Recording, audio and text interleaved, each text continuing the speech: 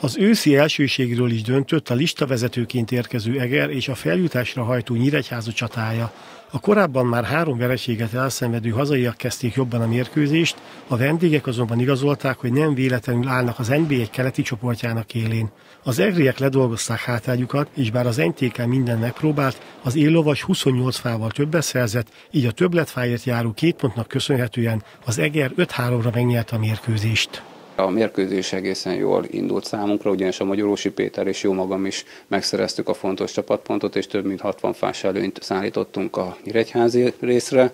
A középső sorban azonban a vendégek óriásit produkáltak, visszadolgozták hátrányokat, sőt előnybe is kerültek, és megszerezték a csapatpontokat, így a zárósorra maradt a döntés, ahol a Hakker Dezső Fehér Béla párosunknak mindenképpen a kezébe volt a lehetőség. A Dezsőnek nem sikerült annyira jól az az indulás, de folyamatosan visszadolgozta a lemaradását, míg a végén közel 20 fával diadalmoskodni tudott a vendégjátékossal szembe, és nagyon fontos csapatpontot szerzett.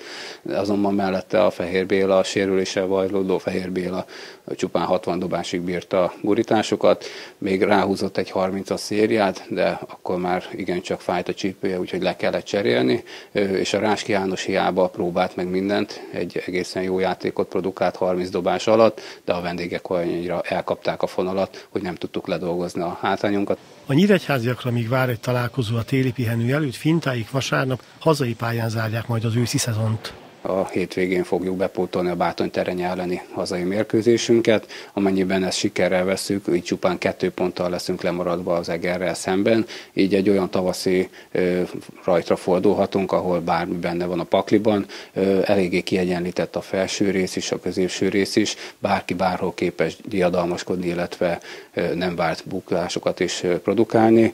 Ö, bízunk benne, hogy a ö, következő hétvégi elmaradt meccsünket megnyerjük, és akkor majd a tavaszra mindenki mindenképpen egy kiélezett párharcot vívhatunk majd az Egerrel, és a sorsnak a érdekessége, hogy majd a legeslegutolsó fordulóba fogunk Egerbe utazni, ahol majdnem azt mondom, hogy akár eldőhet a bajnoki cím, de addig még borzasztóan sok mérkőzés van hátra.